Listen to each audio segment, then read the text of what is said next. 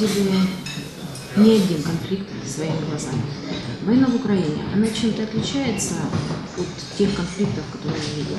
И э, не считаете ли вы, что есть некое сходство конфликт, тот же Нагорный Карабах, Приднестровье, э, для чего Россия все это делает? Нагорный Карабах был вообще в 92-93 году. Приднестровье, по-моему, еще раньше. Я бы не, не... Ведь Россия это не человек какой-то. Это не, не мужчина и не женщина. Это Россия 93-го года. Россия сегодняшняя. Две абсолютно разные страны. А, что касается кон... Э, чем отличается этот конфликт. Ну, если бы я был китайцем или негром преклонных годов, я бы, конечно, э, подумал бы, что это такой же конфликт, как, скажем, в Косово там, или еще где-то. Но поскольку я русский, с частью польской крови, наверное, украинской, белорусской, то я вам так скажу, что для меня это не чужой конфликт. Потому что я был и с той, и с другой стороны линии фронта, и, и с обеих сторон разговаривают на русском языке. И с обеих сторон есть и русские, и украинцы, с обеих сторон. И это не война. Это не война России с Украиной. Нет, это война России с Украиной. Это не война украинцев с русскими. Это не война русского народа против украинского народа. Это война одного единственного человека против украинцев – и против русских. А те, что выполняют его преступные приказы, эм, это люди без национальности. Люди, которые совершенно не понимают, что нельзя в славянском доме э, доводить ситуацию на ровном месте для того, что люди со стервенением начинают убивать друг друга. Это страшное, страшное преступление, и я думаю, историки и поколения следующие э, найдут ему должную оценку. Ну вот ваши, э, не знаю даже как это назвать, вот ваши мысли по этому поводу. Почему? Почему именно сейчас? Что должно было произойти, чтобы вот пришло в голову сначала Крым, а теперь Донецк, Луганск, области, довести ну, Крым поставить, да? Ну, э, понимаете, это все часть вот этого достаточно хаотичного, достаточно капризного, на удивление, вот такого какого-то не очень планового плана воссоздать разрушенный до основания Советский Союз. Сначала появился вот этот вот тухлый сталинский гимн с переложенными какими-то словами, который Никто и наизусть не знает до сих пор в России. Потом много чего. Все вот эти вот советские вещи, они стали, э, как бы знаете, вот э, что мы видим сейчас в России, это распространение раковой опухоли, сталинизма. Потому что страна как пациент – не, не испытала радикальную операцию. То есть не были сделаны совершенно необходимые в этой ситуации вещи, такие как иллюстрации, например, такие как избавление от всех советских символов. Возможно ли это сегодня Нет. Но в Украине мы, в общем-то, наверное, к этому стремимся, но тем не менее мы не можем это сделать. России это абсолютно невозможно. Невозможно сегодня, да, потому что, э, ну, знаете, вот я даже разговариваю с своими, своими очень, почти уже бывшими, хорошими друзьями из моего круга людьми, и они мне кричат «Крым наш, Крым наш». Такое ощущение, что у них вот чип вот этот вот разумный вытащили из головы, чип вот этих моих друзей, с которыми мы вместе обсуждали литературу, там, политику, и вставили какой-то другой чип, вот этот Киселевское такой, э, Эрнстовско, Добродеевский такой, кремлевский вот этот чип. Люди в России большинство людей, почему этот конфликт оказался возможным, почему народ не сказал «нет»? Потому что для них Украина не является до сих пор независимым государством. Они, большинство, до сих пор считают, да что вы, это же наше подбрюшье, это наш чулан, там, наш туалет, наш коридор, э, наш огород. Э, да какие там эти хохлы, там, украинцы? Да нет, это смешно. То есть вот это вот э, снисходительное отношение к целому народу, недопустимое, оно в результате и создало почву для вот этой вот совершенно идиотской войны. Войны, построенной на мифах. Все причины, которые называл Кремль для этой войны, придуманы были самим Кремлем. То есть получается так, что президент великой страны, он находится в плену своего собственного телевизора. Вот не может Владимир Владимирович, не может он понять, понимаете, вот у него не хватает мозгов, чтобы понять, что никто не платил студентам, когда они вышли на Майдан. Но у него не укладывается это в голове. Это не, э, он не так воспитан. Но не бывает так, что огромное количество людей бесплатно что-то делали. Потому что в России не может быть, потому что, ну, наверное, может быть, но потому что вот стоило людям выйти, опять это происки американцев. Это, ну, э, вот это вот все время сознание того, что весь мир против тебя, что Россия, у России какой-то особенный путь, что все хотят захватить Россию. Да кому она нужна, Россия? Что там захватывать? Ну, что там захватывать? Да кто вообще сможет захватить? Даже китайцы не могут это себе представить. Э, а насаждается опять в обществе вот этот вот комплекс осажденной крепости. И Россия как бы нарочно окружает себя войной, которую она якобы ведет, ведет с американским империализмом. Но вот этим battlefield, полем битвы становится Украина, Грузия и так далее. То есть эти войны, они все искусственные, они все их причины придуманы руководством России, чтобы показать всему народу, что вот у вас нет газа, например, в стране, или вот у вас такая невкусная еда, или там мы не можем э, лечить стариков и детей, потому что мы окружены врагами, и мы должны тратить деньги на войну. И люди, видимо, воспринимают все это нормально. Ну, конечно, люди воспринимают так, как им это говорят. Знаете, э, если по телевизору показывать ну, что-то одно все время, знаете, что-то такое не очень приятное, например, задницу целыми днями, то в конце концов, а что, нормально выглядит, даже симпатичная. Да? Так и здесь.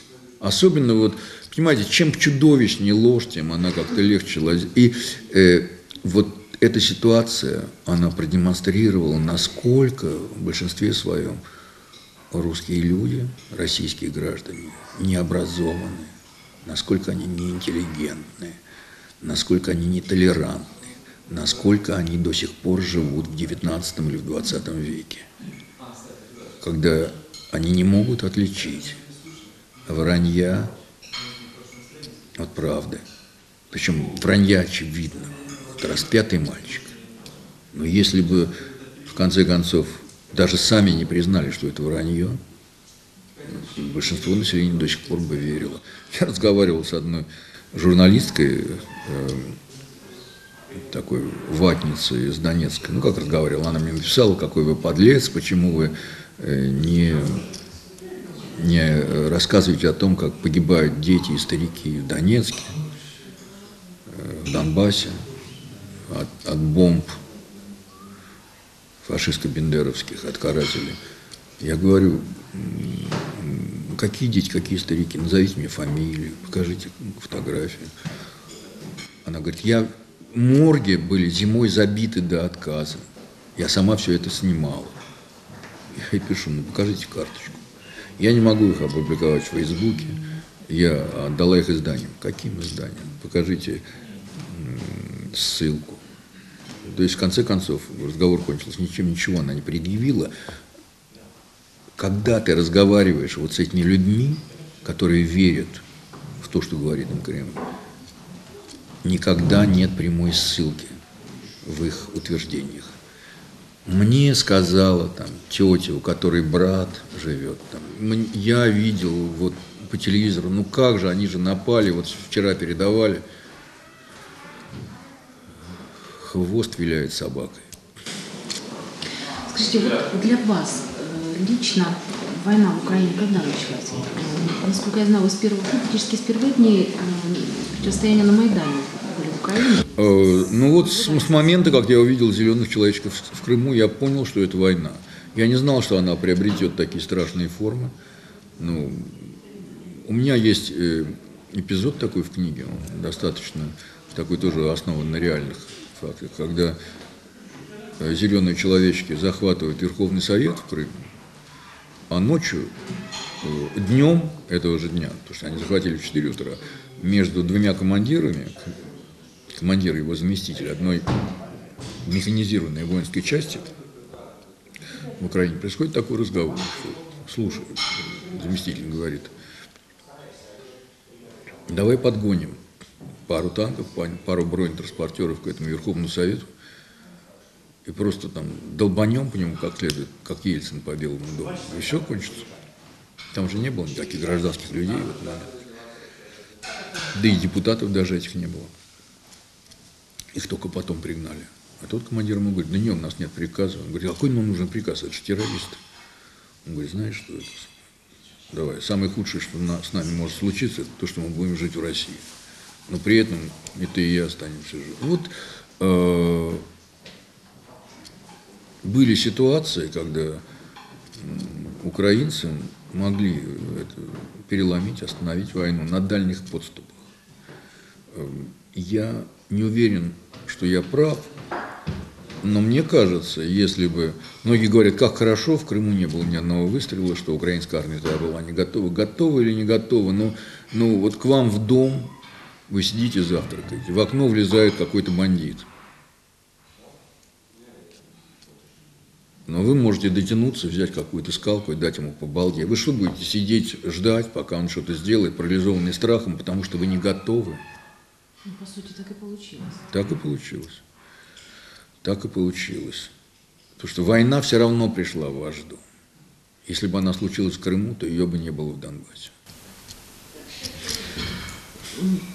книга, которую вы написали, насколько для вас лично это было ожидаемое детище? Э, интересно ли вам было работать над э, этой книгой и насколько интересен был материал? У вас дети есть? Есть. Вам рожать интересно было? Как вам сказать, рожать нет. Но это было настолько ожидаемо. Ну, собственно, сам процесс, да, он был тяжелый. Ну вот те же самые. Вот вы ответили на мой вопрос. Расскажите о книге. Ну, книга, она состоит из страниц, там слова в ней, есть фотографии. Ну, что я могу рассказать о книге? Ну, ну э, не я должен рассказывать о книге, а читатели должны о книге рассказать, спросите их. Э, если вы хотите узнать, как она произошла, да. я, я писал статьи, я публиковал свои фотографии, они облетели весь мир, они получили какие-то премии престижные.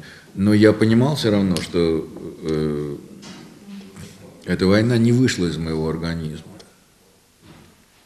Но что у меня осталось э, в памяти, в сердце, в душе, столько всего, чего я не мог опубликовать в статьях. Ну, просто э, жанр сам не позволял. Я понял, что я наконец-то созрел для того, чтобы написать роман. Я сразу понял, что это будет роман, потому что я не хотел никого обидеть из защитников аэропорта. Я знал только некоторых из них некоторое время. Вот, и, и я дал им всем вымышленные имена, назвал аэропорт вымышленным именем, чтобы никто не мог сказать, ну, слушайте, это было вот не так. Я там был в этот момент, вот, не, не, не 80-е минометы, там, а, а 122-е там нас бомбили. Вот э, этого я хотел избежать, потому что для меня не суть важно было, в какой момент что произошло.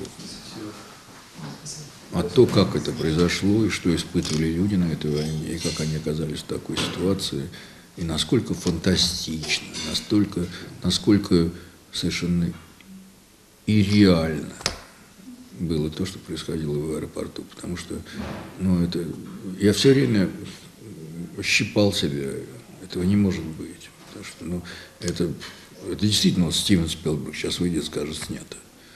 Потому что все настолько реалистично, все настолько выпукло, все настолько фантастично одновременно, что поверить в это мозги отказывались. Что сейчас вот происходит такая битва, причем что? Что вы защищаете?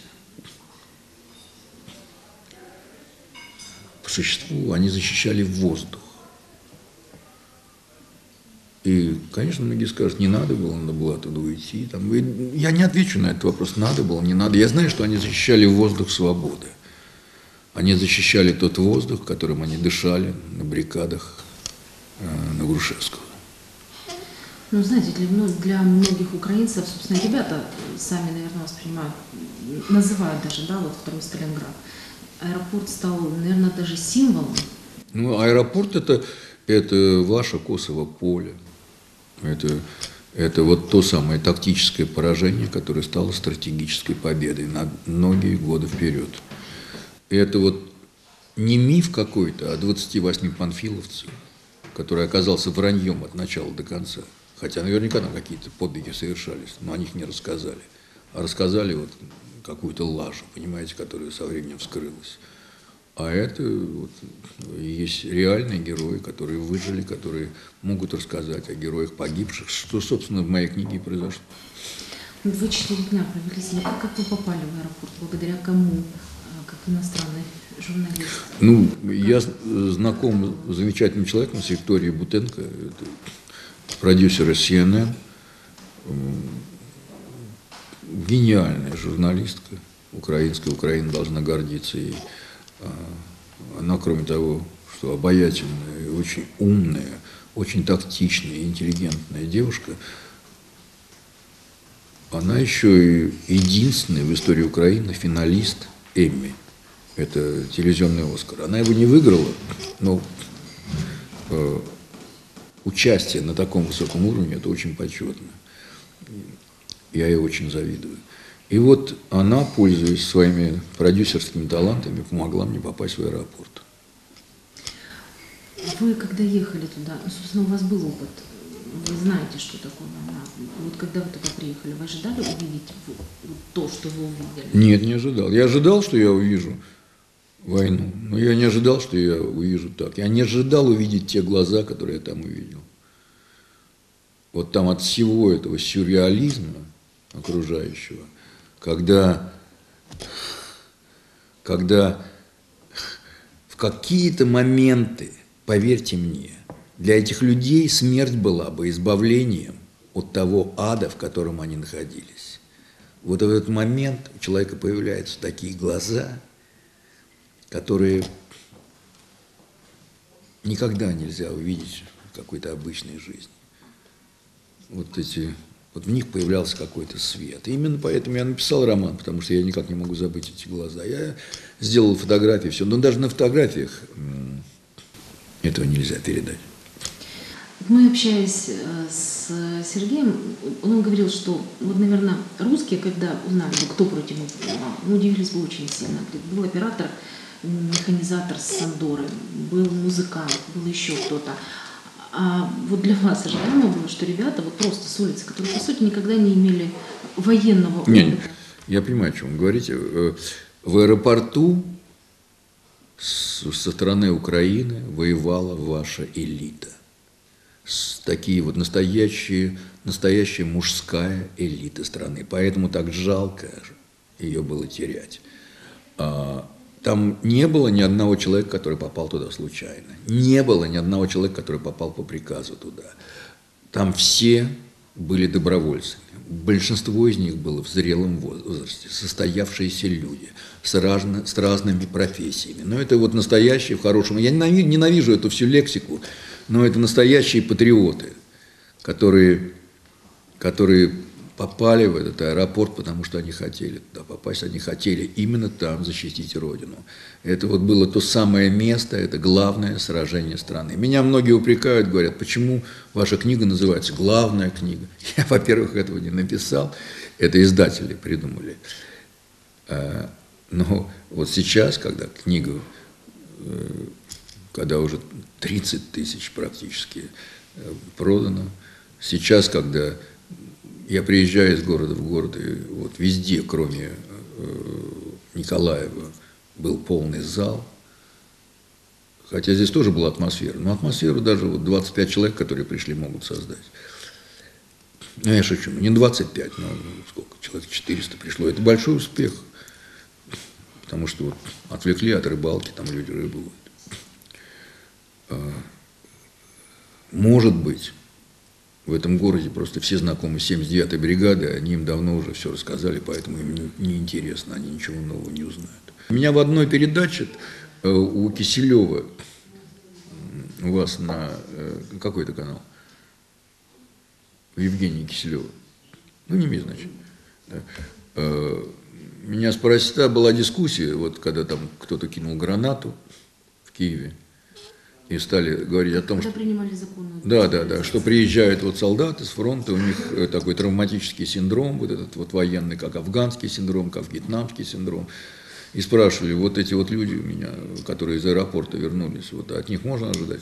Ничего подобного. Это люди, которые, возвращаясь домой, они возвращаются в свою нормальную жизнь. Один из них бизнесмен, другой художник, третий музыкант. То есть каждый из них имеет э, э, семью, женщин, которые их ждут, которые ими гордятся. Вот в аэропорту был, э, были действительно элитные мужчины вашей страны.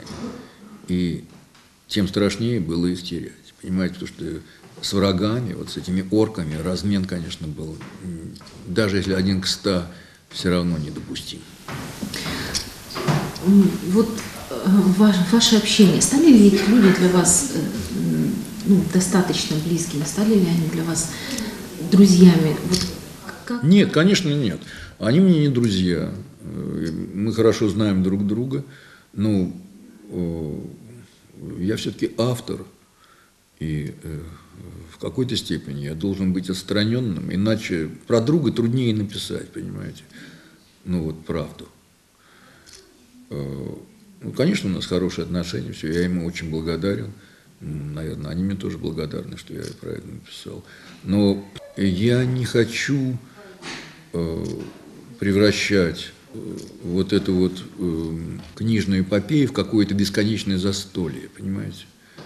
Но они живут своей жизнью, я тоже. Вот, ну, так получилось, что они стали героями моей книги. Вот. И они заслуживают этого. Они заслуживают, чтобы о них рассказали. Я рассказал как мог.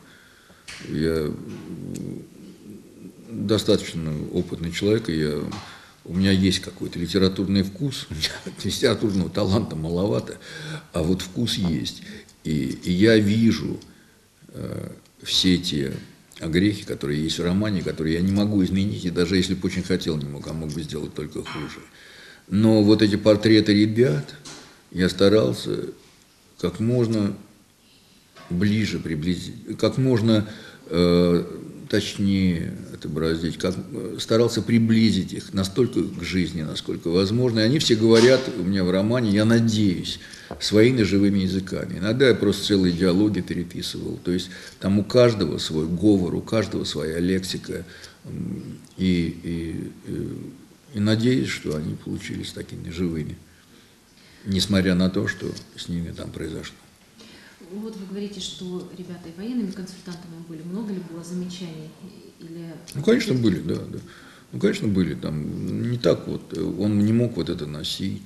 Он не мок так говорить. Здесь надо плюс-плюс сказать. Они, и, и вот эта мина, она звучит по-другому. Там, вот здесь вот нет, там не было 125, 150, э, там не было САУ. Ну, много. Я, в принципе, и чем РПД отличается от ДШК? Да не, что вы, это не ДШК, это РПД. Это пулеметы Дегтярева.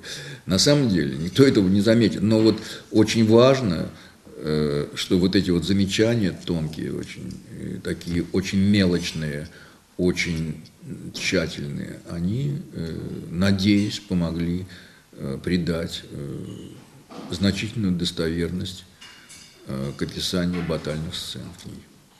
Вчера вы зачитывали, да, вот есть ма- в матерной форме некоторые выражения, как, как будут переводить. Ну, на английский очень легко перевести. А на другие языки, ну, не знаю, везде по-разному.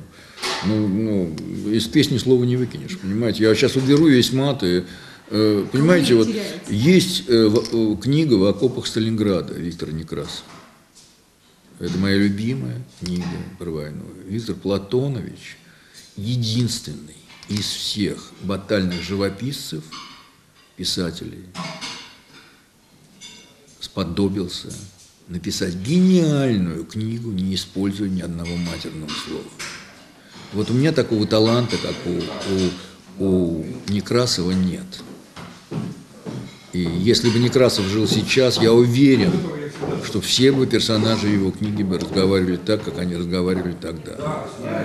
Разговаривали приблизительно так же, как сегодня на. Потому что война с тех пор мало чем изменилась, особенно вот эта вот война. И э, мне в этом плане было легче. То есть, э, если бы у меня был такой талант, как у Некрасова, может, я обошелся бы без мата. Но, ну, ну, почитайте.